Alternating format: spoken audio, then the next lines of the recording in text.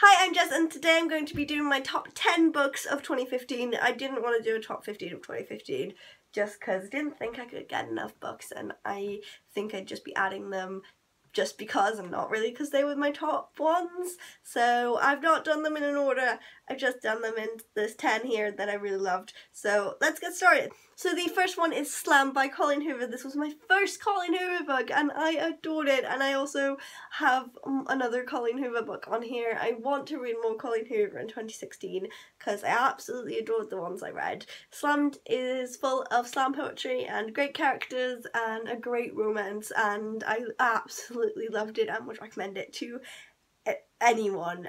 As long as you don't mind adult content it's it's great and I loved it. So the next one is also a Colleen Hoover book and that is Maybe Someday and this was probably what one of my favorites of the year. It also is accompanied by an album uh, by Griffin Peterson which I absolutely loved. I would listen to it just as the songs were written in the book. So it's about a songwriter who breaks up with her boyfriend and ends up living with this boy across the road who and she has amazing chemistry with but he's got a girlfriend so they write songs together but they're trying to not have so much chemistry and they're both aware of it but they're trying to keep a friendship and I really really loved it. I really really really loved it. I loved their relationship and I loved the direction in which it went. I don't think it went in the direction that I thought it was going to go and that I was worried it was going to go Next was Carry On by Rainbow Rowell and this book was so good. I read it all on a train back to York and I loved it.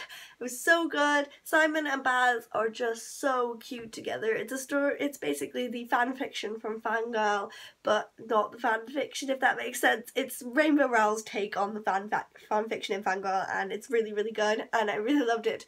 The magic system in this world is amazing. It's so different from anything that I've read before and I really enjoyed it. Next was one of my university books which I was quite surprised about and that is Never Let Me Go by Kazuo Ishiguro and I loved studying this book. I really wish I'd been able to write on it um, but it was for my creative writing course not my um, English course and so I wanted to do a creative piece for that assignment rather than a analytical but if I'd written on this I would have so much enjoyed it because it was so good I really loved reading this it's one of my favourites that I read for university and I'd watched the film before and it didn't hinder my enjoyment at all because they both feel very similar to each other and I really really enjoyed it. Next was Everything Everything by Nicola Yoon. It's very different, explores mental illness and romance in a way that I'm not had explored before in YA and it was just really good. It follows a girl who is allergic to everything so she has to stay in stores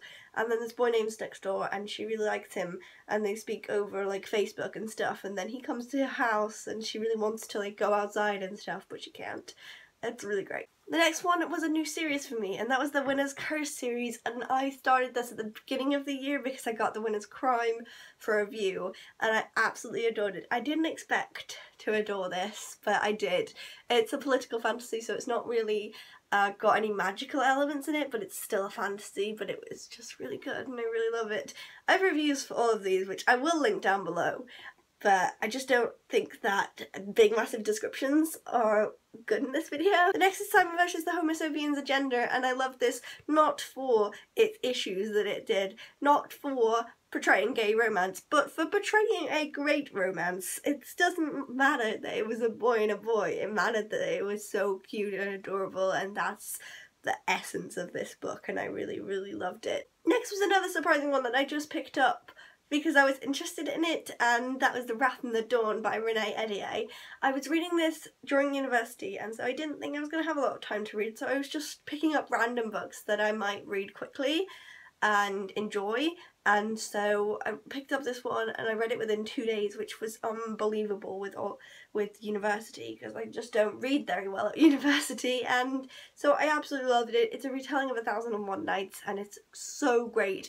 I definitely didn't expect to love this one as much as I did. Next was An Ember in the Ashes. I got this for review near the beginning of the year and it was so good. It was different from anything I've read. There's no romance in it and it's a fantasy um, and it's got a female character and a male character and it's great and I really really loved it and I have a review with more in-depth thoughts down below. And lastly is The Martian and uh, again I didn't expect this to be as funny as it was. I didn't expect to love this as much as I did and I really need to watch the movie because I haven't yet and I'm so excited to see Matt Damon play one of my favourite characters because he's so funny and I really want to see that on screen because I think it'd just be hilarious and oh, I just love it and I want to watch the movie as soon as I possibly can. So that was my top 10 favourite books of 2015. Let me know down below any books you read in 2015 that you really loved and I will see you next time. Goodbye.